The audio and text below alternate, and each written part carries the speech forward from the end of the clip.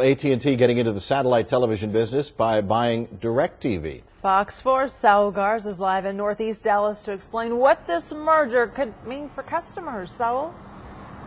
Uh, good morning. Yeah, Dallas based uh, AT&T has about 2,300 of stores uh, just like this one here behind me.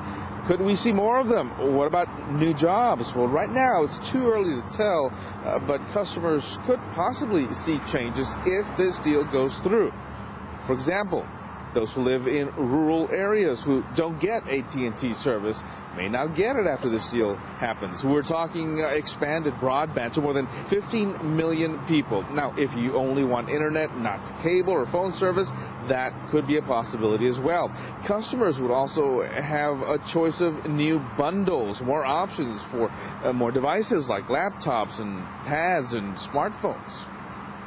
Consumers may benefit uh, because they'll now be able to have access more easily to programming they wouldn't have gotten otherwise. So the, the, the NFL package that you get on DirecTV is the best example of that.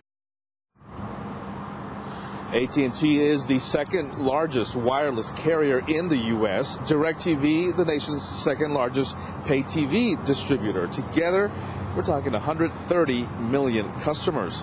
Now, this $49 billion deal still has to get the okay from government regulators. Both AT&T and DirecTV plan on hosting a webcast presentation to discuss this transaction later this morning. Live in Dallas, Saul Garza for Good Day.